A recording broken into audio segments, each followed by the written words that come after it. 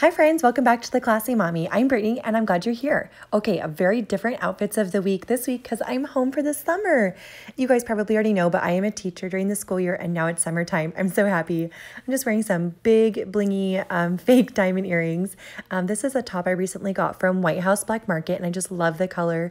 I got these chinos, they're girlfriend chinos from the Gap, but I got it from the thrift store and I'm wearing some little wedges.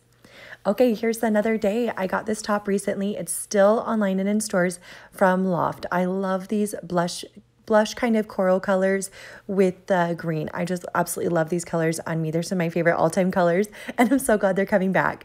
I got these uh, shorts thrifted as well. They're originally from Gap, and it's just a really simple, easy, easy cool, but still keeps me warm. And um, I feel like I can move around with the kids and play all day long. All right, I've got this cardigan on. You guys have seen this before. I got this from uh, Downeast Basics last summer. And this top also came from the loft this spring. So I believe it's still there. It just has little pops of yellow, a little bit of coral, and the blue is a little bit brighter than it's coming on, on person.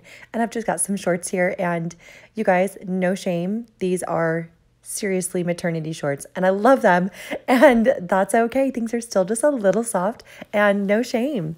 All right, I got this dress recently this spring. It's from Boden.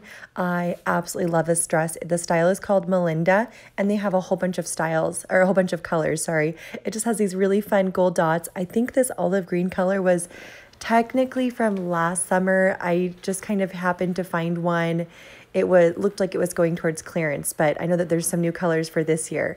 Just my simple diamond studs, a gold chain, my wedding ring, and I like how the gold kind of went with the gold dots on my dress.